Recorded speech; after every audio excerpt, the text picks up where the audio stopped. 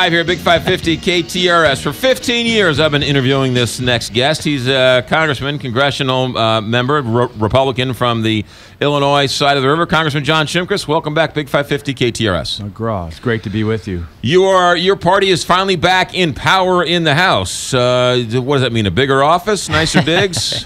Uh, well, it seniority doesn't matter, and uh, I did move to another office. It's, it's strategically placed between my two committee rooms, so it works out well. And right.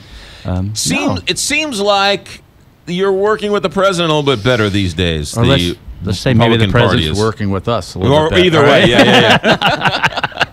No, it, I think it's an interesting time. Um, I, I think we've been in the majority in the House for quite a couple years. You know, of Right. course, with McConnell coming into the majority, and that's Congress as a whole. Right. Um, I, I think there is a desire to get some things accomplished. Not everything has to break down on partisan lines. I mean, we um infrastructure. We're going to have to deal with that again. Short-term extension, long-term bill. Uh, uh, our committee's moving a, a bill called the 21st Century Cures, which will raise NIH funding. That's not. It's not partisan, Right. Um, and it's moved through the subcommittee with a full vote just last week, and that's going to move in the direction.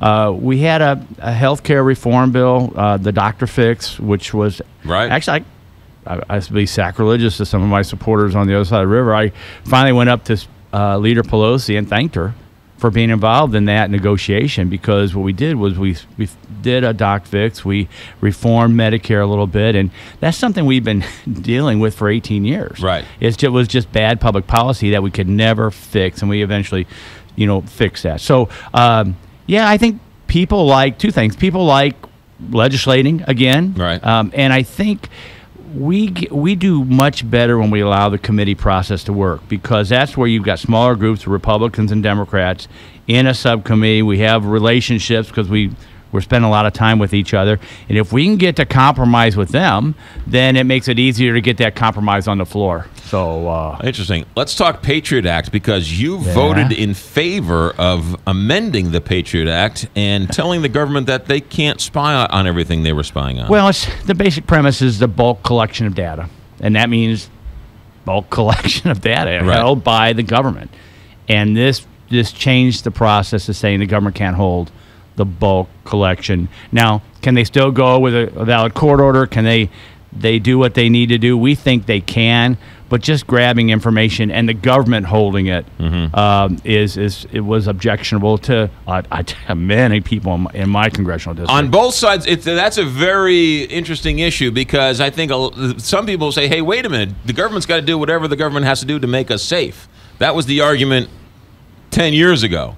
Now they're saying, "Hey, wait a minute! This this the government doesn't need to do this anymore." Well, I think there's a the fine line. I mean, it's probable cause. Right. I mean, when do when can you snoop and when can you not snoop? And uh, if our community is working together, part about the Patriot Act or part of uh, Homeland Security in that whole time was to make sure that the CIA and the FBI talked. Right. And that was important because they did. The CIA may have known of some bad guys. The FBI may have known some bad, bad guys, but if they're not communicating, how can the federal law enforcement officials talk with our intel community? Right. Uh, but then it also morphed to this let's collect all this data, let's new computer programming, and let's analyze just information that we haven't specifically been able to identify as coming from someone who may desire harm against us and our interests. So uh, that's that's all we're trying to get to, and it's it's tough. It's a tough debate of if you're going to go too far, or you know, if if we're if bulk collection of data has stopped major attacks, Right. and we stop that bulk co- collection, then we're going to someone's going to say, "See, you know, I, I Right, told you." right. But uh, the the push for individual civil liberties and this new era of communications and the digital age and everybody knowing where everybody is at any time, uh, people want us to pull back a little bit from that. Now that overwhelm that passed the House overwhelmingly. Right. It's going to have a hard time in the Senate, though.